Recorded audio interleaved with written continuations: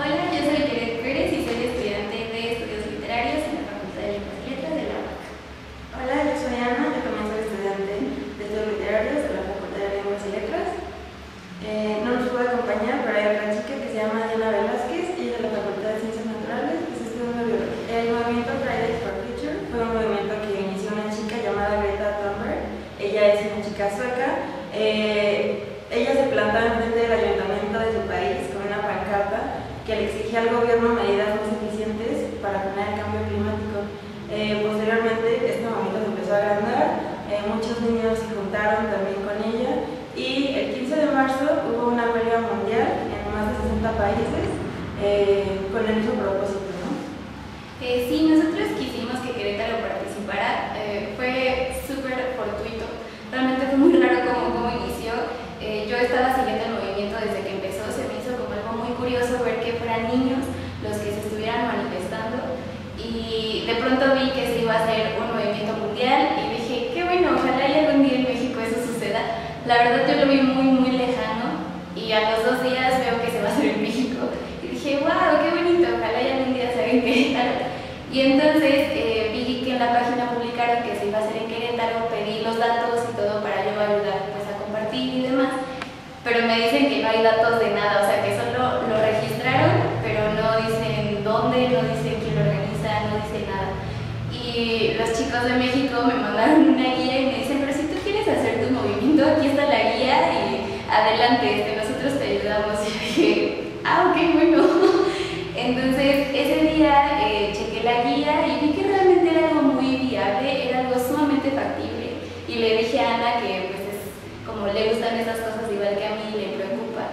Entonces le comenté y me dice, va, hay que hacerlo, pero para esto faltaba semana y media para, pues, para el día, entonces fue un viaje sumamente apresurado. eh, empezamos nosotras a, pues, a hacer el evento, eh, a ver lo de los permisos, todo ese tipo de cosas y durante unos días nos dimos cuenta que, hu- ah, bueno, que había otro evento en Facebook que lo organizaba Diana y le hablamos y le dijimos, oye, nosotros también estamos organizando uno, creo que deberíamos de fusionarlos para que pues sean más personas, ¿no? Y, así fue como se fue, fue creciendo, fue creciendo y así lo pudimos hacer. Realmente este movimiento yo creo que la esencia es que son estudiantes, son jóvenes, porque pues es momento de que nosotros aboguemos por nuestro futuro, porque realmente las generaciones pasadas pues lo único que están haciendo es que nos están dejando un mundo un poco, poco muy caótico, muy desastroso. Entonces creo que es momento de que nosotros tomemos las riendas de nuestro propio futuro y hacer presión y no solo eso, también actuar día con día. Eh, ahorita después de la marcha pues muchos nos dijeron de qué más se va a hacer.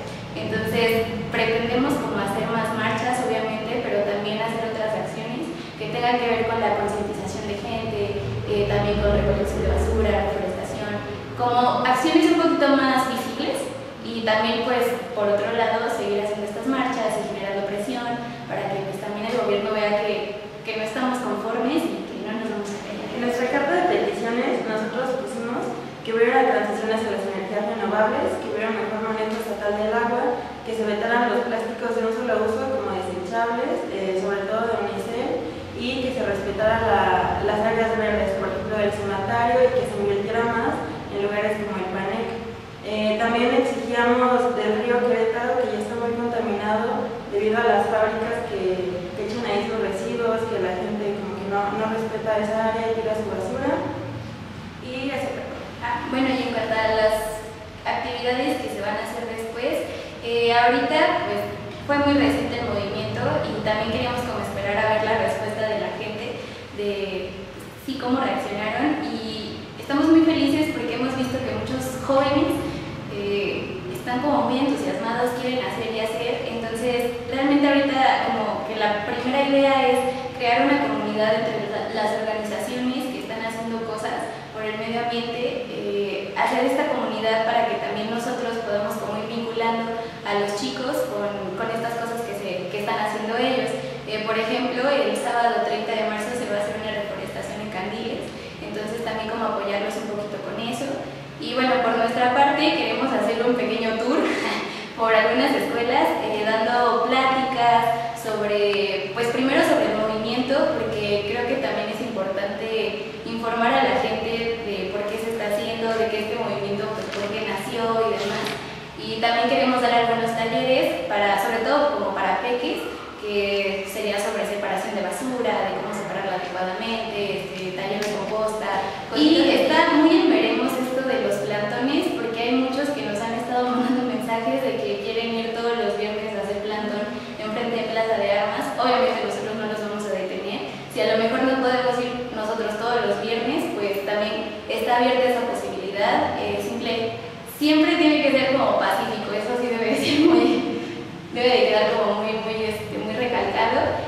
Y bueno, también tenemos ahorita planes de ir al cematario a ver en qué se puede ayudar, ya sea con recolección de basura o, o con ayuda de donativos. Eh, estamos también como en planes de, pues, de ver qué, qué, se puede hacer, ¿no? Entonces, eso, esos son más o menos los planes, ya conforme el tiempo avance, la página ya se va a dar como un poquito más de forma, porque ahorita lo que estamos queriendo, como les dije al principio, es hacer comunidad y ver en qué se puede ayudar.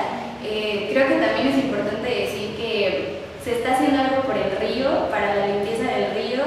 Eh, es muy tentativo, como el 5 de mayo se va a hacer un desfile también para, pues, para presionar un poquito al gobierno que ya lo limpie porque es súper tóxico. Entonces estamos como en eso, ¿no? estamos muy emocionados. Eh, se vienen.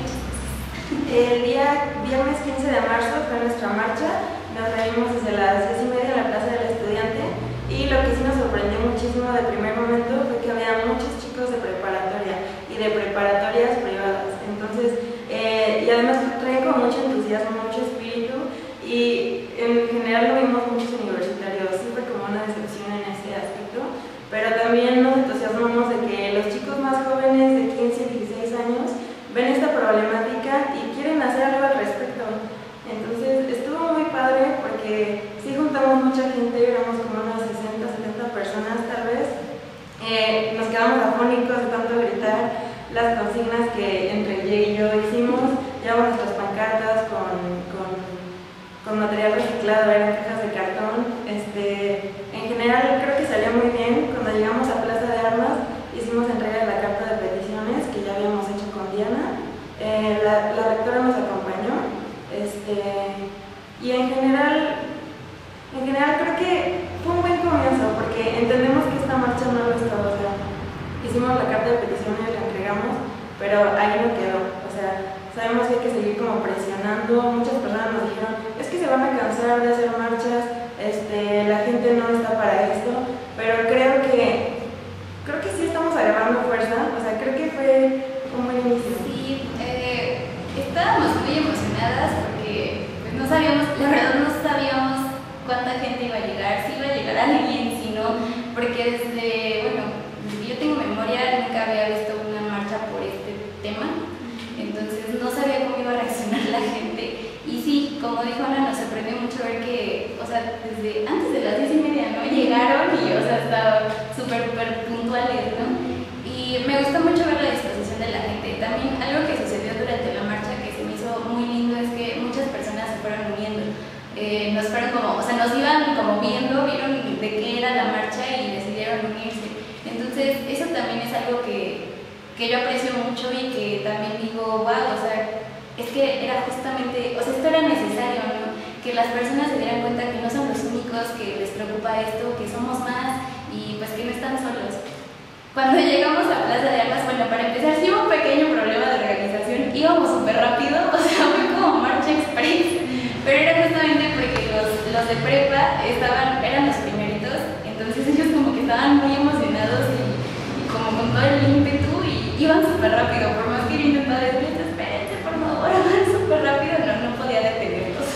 es algo que vamos a arreglar para la próxima marcha, con una manta o algo así, bueno, ya se me hace este, cuando llegamos allá, pues se nos unió la rectora y eso también nos ayudó mucho a, pues llegaron de pronto como que muchos medios y se puso un poquito más formal el asunto. Eh, y bueno, ahí estuvimos un buen rato bajo el sol. Eh, también me gustó ver que la, pues, la gente no se iba, que se quedó con nosotros hasta el final. Eh, y también al final de la marcha, como todos se nos acercaban y nos decían, bueno, ¿qué más se va a hacer? unos sí nos decían pero yo sí les decía como no me feliciten hasta que haya un cambio, porque ahorita no hay, o sea, se, ahorita no me feliciten, esto apenas está empezando. Entonces, pues tuvo mucha gente eh, de organizaciones, creo que solo nos acompañó Greenpeace, tengo entendido, de otras, bueno, nunca se nos manifestaron, no lo sé la verdad.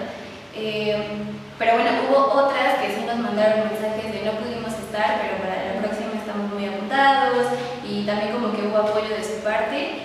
Y pues bueno, creo que así se vivió, vivió la marcha, estaban muy contentos. Hubo recolección de basura, que eso también es importante mencionar. Que claro, el centro no está tan sucio porque pues es medio ilegal que esté sucio, pero se encontraron muchas colillas de cigarros, entonces también como que hubo un poquito de contribución en ese sentido. Eh, y bueno, creo que eso fue todo lo que se vivió en la marcha que nos gustó. Y bueno, posteriormente eh, hubo una nota que habló como del movimiento, pero no de la forma en la que nosotros esperábamos, que decía que piden el hoy no circula y esto causó un poquito de, de enojo entre las personas porque pues, pues sí, es, un tema muy complicado en todas partes, ¿no? El hoy no circula es, es algo muy polémico y sí queríamos nada más como decirles, reafirmarles que esa no es nuestra prioridad. Ahorita nuestra prioridad, como lo dijo Ana antes, es pues que se implemente también un, pues, un cuidado del agua, el, el río, la reforestación. También eh, esto de fábricas, Querétaro está creciendo industrialmente muy rápido y creo que no se están dando las debidas regulaciones ambientales.